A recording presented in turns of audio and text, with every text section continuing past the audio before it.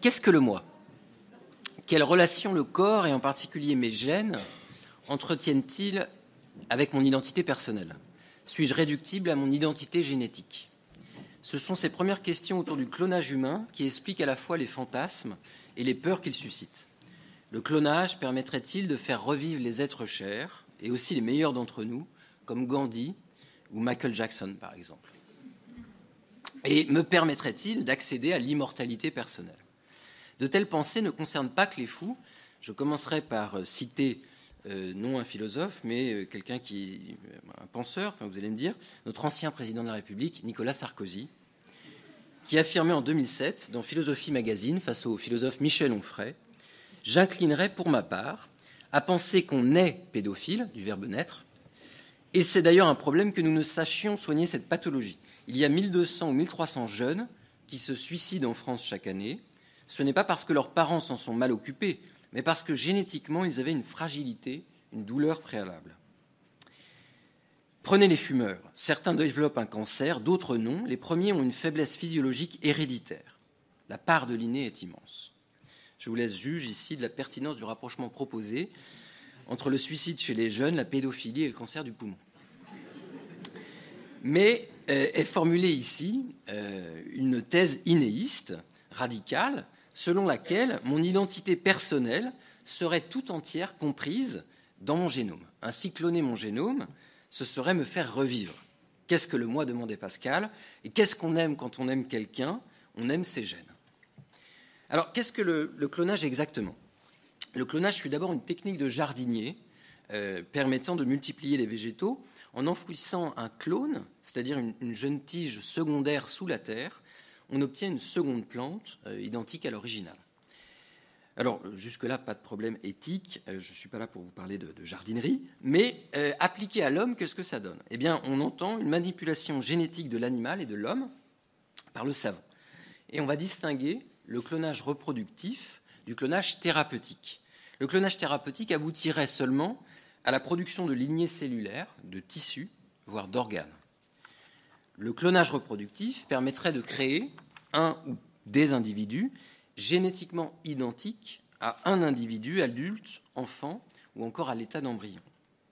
Dans ce second type de clonage, on transfère le noyau d'une cellule d'un organisme dans l'ovule énucléé, c'est-à-dire sans noyau, d'un organisme femelle de la même espèce. Et cette nouvelle cellule possède en gros les propriétés d'un embryon qu'on euh, transplante, qu'on implante dans l'utérus d'une femelle. Alors le premier mammifère cloné, la chèvre, la brebis pardon, la plus, la plus célèbre au, monde, euh, Dolly, euh, c'est 96.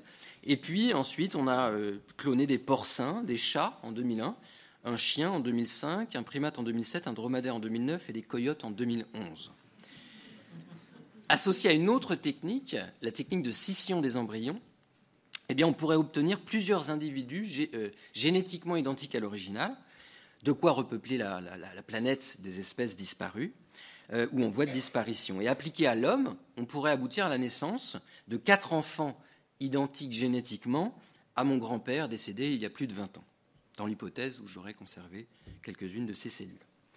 Alors, remarquons avant d'entrer dans la, discussion éthique que toutes ces disputes éthiques autour du clonage reproductif se tiennent sur une technique qui n'a pas encore été réalisée sur l'homme et qui n'est pas réalisable aujourd'hui sur l'homme. Alors, est-ce qu'on pourrait réduire cela à de la morale fiction demande euh, Ruenogien. Est-ce que finalement c'est une discussion inutile, comme si on, s'interrogeait sur est-ce qu'il est moral ou pas de voyager dans le temps? Euh, Non, pour deux raisons. La première, c'est que la communauté scientifique s'accordent pour dire qu'un jour, on arrivera à, cloner l'homme. Et la seconde, c'est qu'il existe des lois pour condamner euh, le clonage reproductif et il n'existe pas de loi euh, pour condamner le voyage dans le temps. En France, on, est condamné, on serait euh, pardon, condamné, c'est un crime contre l'espèce humaine. il est puni de la prison à perpétuité et de 7 500 000 euros d'amende lorsqu'il est commis en bande organisée. Comme le souligne la juriste Marcella Yacoub, euh, en France, il est donc plus grave de cloner un homme plutôt que de le tuer. Hein, alors qu'on fait naître un individu, bah, si je le tue, c'est moins grave pardon, que, de, le cloner. Donc, en quel sens serait euh, le clonage reproductif serait un, mal absolu hein, C'est cette discussion que j'aimerais avoir avec vous. Alors je vais laisser de côté, j'ai pas le temps, euh, les, arguments un petit peu des, savants fous autour du clonage reproductif euh, qui, proposent d'organiser des, usines de clones, réservoirs d'organes, alors avec ou non doués de conscience, etc. Ils sont facilement, comment dire, démontables d'un point de vue éthique. Mais je, vais voir juste les arguments, on va dire, les plus, les plus défendables. Le premier consiste à soutenir que le clonage reproductif serait un recours légitime pour des parents stériles d'avoir un enfant, en l'absence totale de production de gamètes. La loi interdisant à ces couples une telle technique de procréation ne serait-elle pas injuste et ne fait-elle pas des victimes? Ne pourrait-on donc pas étendre ce droit au clonage pour les couples homosexuels et les personnes célibataires, par exemple? Je vais énoncer d'abord les arguments en faveur du clonage. Tel est le premier argument.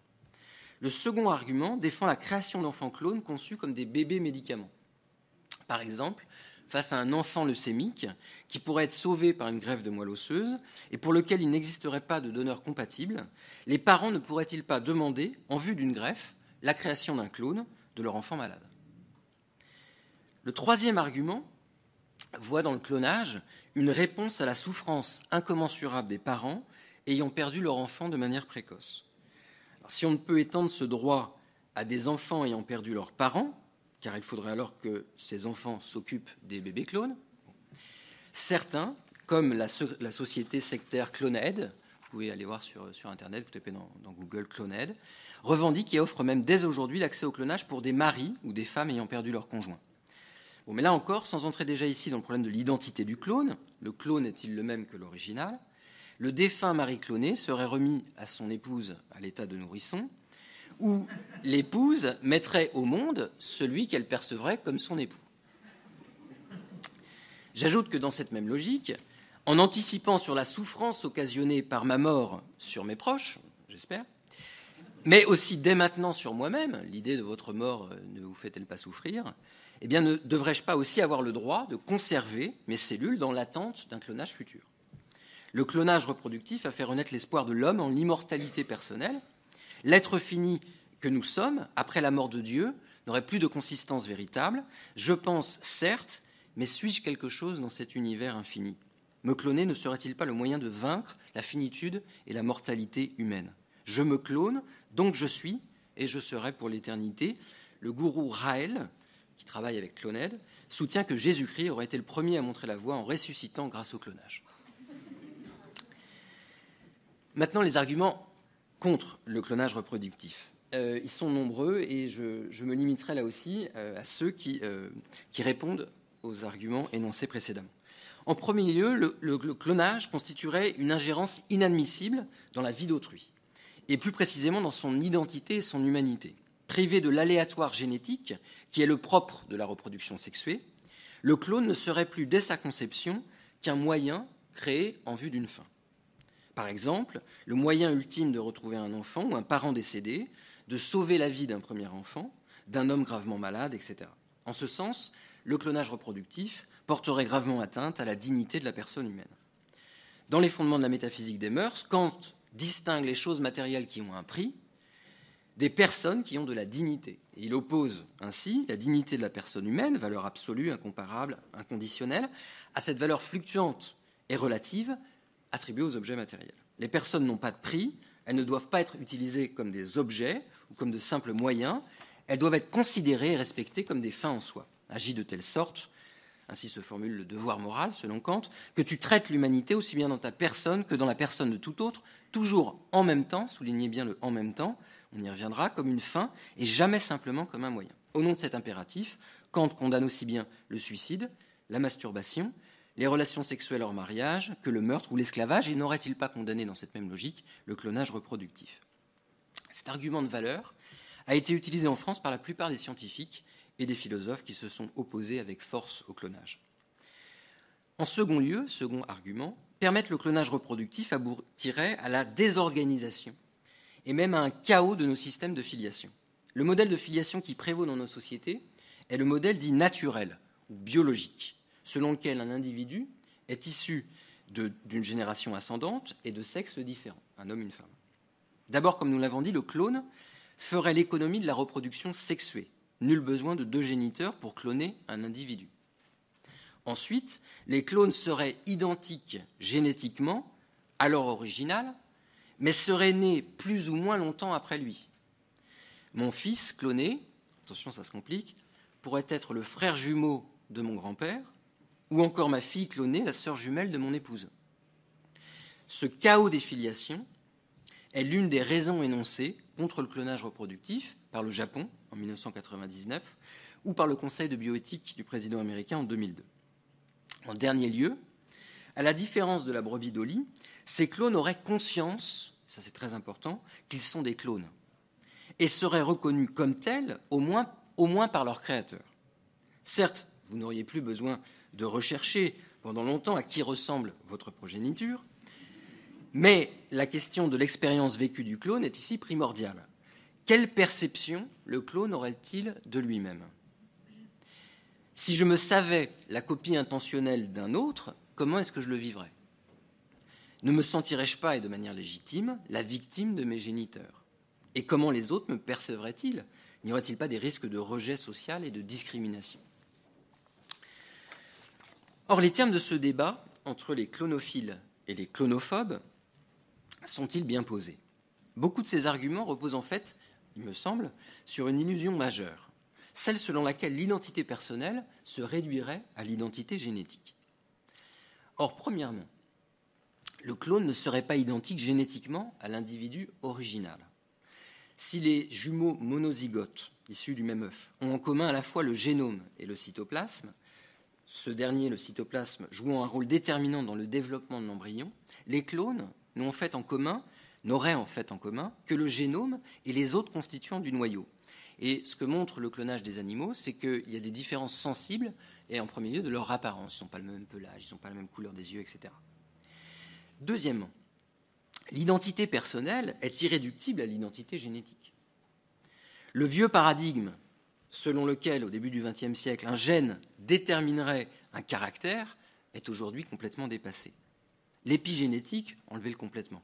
L'épigénétique montre comment l'environnement dans lequel j'évolue participe à la constitution de mon identité à la fois physique et psychologique. Des jumeaux monozygotes, des vrais jumeaux, identiques génétiquement, n'en deviennent pas moins des personnes uniques. L'identité personnelle du clone, ainsi que son autonomie, ne serait donc pas entravée par la seule détermination génétique. L'immortalité, la figure du double dont, nous avons parlé, ne sont donc que des fantasmes. Nous sommes désespérément, ou heureusement, comme vous voulez, mortels. Certes, le fait que le clone soit perçu et attendu comme le double d'un parent défunt poserait des problèmes éthiques graves et sans doute pourrait être accompagné de conséquences psychologiques très graves sur l'être ainsi cloné. On voudrait le voir, l'éduquer seulement comme un autre, et dans le but de remplacer cet autre. En ce sens, le clonage reproductif porte bel et bien atteinte à la dignité de la personne, et il est intolérable. Mais est-ce que c'est inéluctable? Est-ce qu'on ne pourrait pas penser le clonage de manière raisonnable et éclairée? Et faut-il finalement d'ailleurs conserver le terme de clonage qui nous induit en erreur et fait naître tous les fantasmes? Hein, De la même manière qu'on parle de, grève de visage et non de grève de tissu de la, face, nous pensons alors abusivement, de par le langage, que l'individu greffé vole le visage d'un autre, soit l'expression la plus visible de son identité et de son, unicité. Mais il n'en est rien. Prenons encore le cas du bébé clone médicament. L'argument de la dignité s'opposerait alors pour le clonage, il me semble, de la même manière que pour un enfant conçu naturellement ou par FIV, par fécondation in vitro, dans le but de sauver un premier enfant, ce qui est déjà le cas hein, dans, certaines familles. Or, ne peut-on pas considérer cet enfant en même temps, pour reprendre la formulation même de Kant, comme le moyen de sauver notre premier enfant et comme une fin absolue? J'aimerais cet enfant autant que le premier, en et pour lui-même, mais certes, il pourrait ainsi sauver son grand frère. Telles sont les paroles qu'on entend sur le terrain médical. Y a-t-il encore atteinte ici à la dignité? Un autre cas pose question. Pourquoi ne pas permettre l'accès au clonage reproductif à des couples stériles? Dans la mesure où l'enfant cloné serait élevé dans le respect de sa singularité, de fait, et de sa dignité, au nom de quoi l'interdire? En quoi le clonage serait-il ici? Une fois exclus les clonages fantasmatiques, retrouver son défunt mari par exemple, un risque majeur pour les relations de filiation, sauf à réduire la filiation à son sens purement biologique. Mais dans ce cas, que penser des enfants adoptés ou des enfants nés d'une FIV, à l'aide d'un donneur extérieur au couple par exemple? Mon fils cloné, même proche génétiquement de mon génome, n'en demeurerait pas moins mon fils, en tant qu'il serait élevé et considéré comme tel par moi, par ma famille, par la société et l'État. En définitive, le problème majeur et sans doute indépassable du clonage reproductif est son taux d'échec très élevé et ses conséquences sur la santé des êtres ainsi conçus. Dolly la brebis sera euthanasiée en 2003 à un âge précoce pour des signes de vieillesse avancée. Je ne rentre pas dans la discussion scientifique qui explique euh, l'impossibilité de. Mais c'est peut-être dépassable, mais la plupart des études scientifiques tendent à prouver que les êtres clonés souffriraient de sénilité et de pathologies précoces. Et surtout, l'expérimentation sur les hommes, nécessitant une suite indéfinie d'essais et d'erreurs, est pour cette raison totalement indéfendable. Le clonage a été l'objet de tous les fantasmes. Le combat entre les clonophiles et les clonophobes met en présence deux discours tout aussi éloignés de la réalité et partageant une même illusion, la croyance en la toute-puissance de la génétique. Mais en ce qui concerne le clonage, certaines demandes ne méritent-elles pas d'être entendues et discutées, même si elles remettent en question les normes établies? Face aux demandes de clonage reproductif, la réponse de la société ne devrait pas être celle paternaliste qui stigmatise ces couples en les montrant du doigt, leur, désir insatiable d'enfant est-il bien raisonnable, mais plutôt celle de l'homme sage et attentif à l'autre. Le clonage reproductif est aujourd'hui irréalisable et exigerait, en vue de sa réussite, le sacrifice inacceptable d'êtres humains. La discussion portera alors non plus sur leur soi-disant désir coupable d'immortalité ou sur leur prétendue volonté de nier leur futur enfant, mais sur les autres moyens possibles de s'accomplir, de donner un peu de soi à l'autre. Et le débat sur le clonage thérapeutique, dépassionné, pourrait alors enfin être posé sur des bases plus saines.